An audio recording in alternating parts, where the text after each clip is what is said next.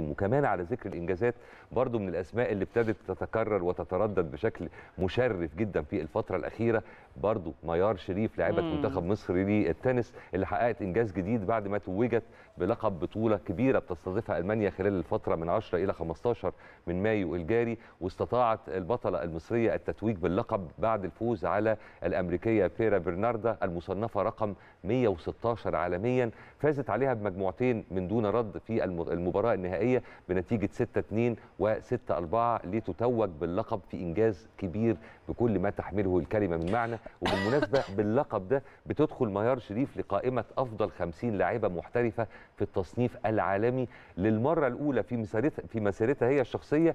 وعموما بالنسبة لكل لاعبات آه، يعني التنس المصريات عبر التاريخ طبعا مليون مبروك ليها. أنا مبسوطة جدا إن الأسماء مؤخرا اللي بقينا نطرحها كأبطال آه، مصريات يعني أسامي نسائية. فده ان دل على شيء دل على تطور فكر آه، الدولة وتقدم وتقدم الثقافة في الدولة والاهتمام من قبل القيادة السياسية والاهتمام من قبل الأهالي ومن قبل المؤسسات المختلفة. لأن الموضوع ما بيطلعش فجأة. أنت عارف مش حاجة كده بتختلف صحيح طبعا. آه، فجأة. لكن في شغل كان بيحصل عشان نوصل لهذه النقطة نبقى بنسمع عن بطلات كتيرة جدا يعني مصريات قدروا إن هم يحققوا ويرفعوا اسم مصر في الخارج كمان يعني في محافل دولية زي ما بيتقال في حاجة أكيد أكيد مشجعة كمان للأجيال الصغيرة.